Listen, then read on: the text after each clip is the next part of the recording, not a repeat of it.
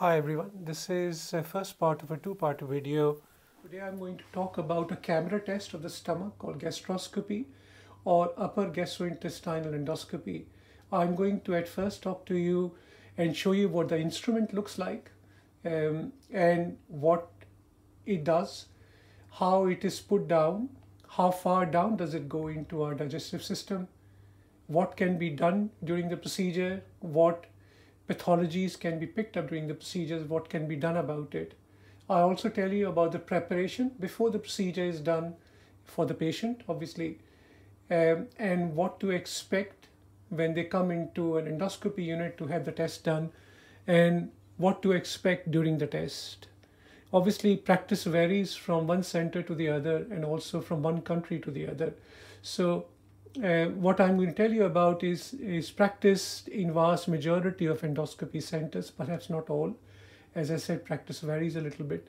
And the costing is about what's uh, uh, costing is in the United Kingdom. So let's take one thing at a time. So this is what a gastroscope looks like. It's about a meter long, which is about three foot three inches long. It is the thickness is size of your little finger or index finger um, it does not weigh very much. It's made out of fiber optic fibers which are bunched together and carry both light and images from the tip of the gastroscope to a processor which converts it, converts it into pictures which are seen on a very high definition screen uh, or television screen. The cost of this uh, instrument can easily buy you a very nice car. So it's a very expensive instrument to have and to maintain and to run. So what uh, controls has the endoscopist got uh, on the scope? There are two wheels which control the movement of the tip of the scope up and down and sideways. The main movement of the scope is controlled by the endoscopist with his, his or her wrist by twisting the scope. The wheels can be moved for fine control of the tip to take biopsies and do some surgical procedures, etc. inside. There's a channel through which biopsy forceps and other instruments can be put down to do advanced procedures. There is a channel through which air is pumped in and there is a channel through which suction is done and also the same channel also controls the cleaning with water spray in the front of the scope.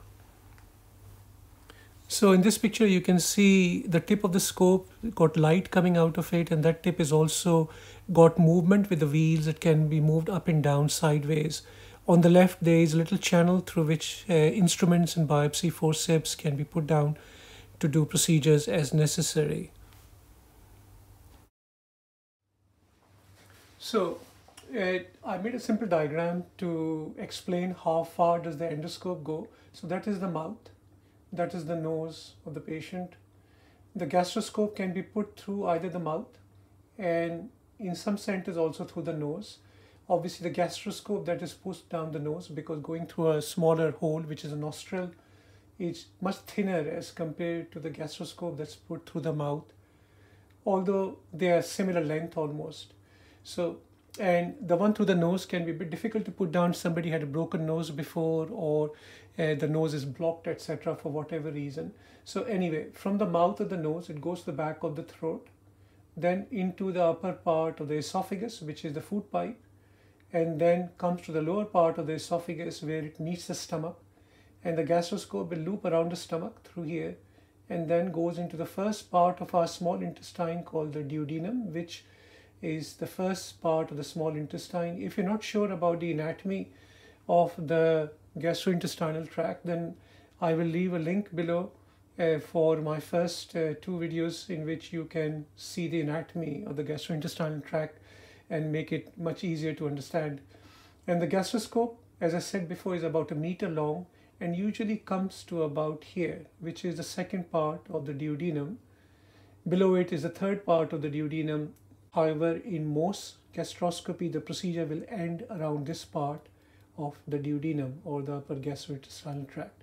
So first and second part of duodenum will be looked at, stomach will be looked at, esophagus or the food pipe will be looked at, the whole test procedure, if it's only being done for diagnosis, which means picking up what is wrong with the patient's symptoms rather than doing any treatment in there or taking any major biopsies or anything, will take about three, four minutes to do, sometimes a bit quicker. Some endoscopists practice is taking a wee bit longer because they're obviously a bit more particular about looking at different parts of the stomach and the, the part they're looking at. Uh, is there a failure rate with the procedure? Yes, there is a failure rate of the procedure. Not everyone can have an endoscopy. Some patients have very strong gag reflex. Some patient feels very claustrophobic with the test. They feel very distressed with the test.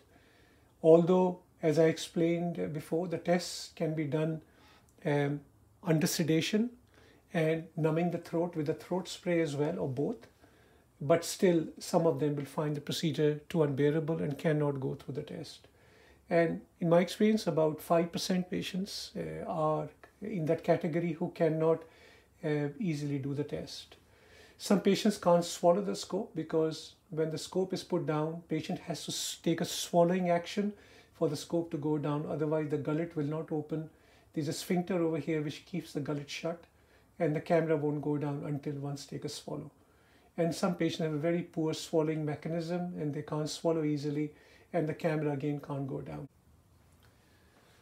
So what is the endoscopist looking for during the test? So examinations of the gastrointestinal tract by an upper GI endoscopy starts around this area, top of the esophagus or the gullet. Camera goes down First few inches are always a bit tricky in my experience to look at a few centimeters because the camera from here to here Eh, goes very quickly so the endoscopist will have to withdraw the scope and have a look at this area properly or on their way out have a look at this area again. So in the esophagus, we talked about all these conditions in my previous videos. So please have a look if you're not sure about any of these conditions. So we are talking about things like in the esophagus, like reflux esophagitis, hiatus hernia around here, any narrowing or scarring of the esophagus, obviously tumors of the esophagus, cancer of the esophagus. Similarly, in the stomach, looking for stomach ulcers, inflammation of the stomach called gastritis, or varices of the stomach and the esophagus, uh, which are dilated blood vessel because of diseased liver. Ulcers of the stomach, again, which can be benign ulcers or cancerous ulcers and other benign tumors of the stomach. Now, all we uh, these conditions I spoke about in my previous videos, so please have a look at them. And then we come, come into the duodenum. The most important thing in the duodenum, duodenum is ulcers. They are the commonest thing and also inflammation of the duodenum called duodenitis. So those are the main things endoscopy is looking at. If any procedures are done, like if there is a bleeding ulcer that has to be stopped, these procedures can take much, much longer. They can take uh, 15 minutes, half an hour, even longer. With the advances in endoscopy, many centers are now removing tumors, early tumors, Barrett's esophagus, etc., etc., through gastroscopes. Now, these procedures take a very, very long time, can take hours to do. And obviously, patient who is under sedation or numbing the throat, that is not possible to do. Patient will be too restless, will be too distressed to do. And these procedures are done under general anesthetic. Please remember, as I said before, most endoscopy procedures are done under sedation or throat spray or both. Throat spray with numbing the throat or both. But very small number of procedures, especially also procedures done in little children who cannot tolerate the procedure easily, will be done under general anesthetic. Thanks for watching today's video and if you like this video then please do remember to like and subscribe so that you can watch all my future videos. Thanks for watching again.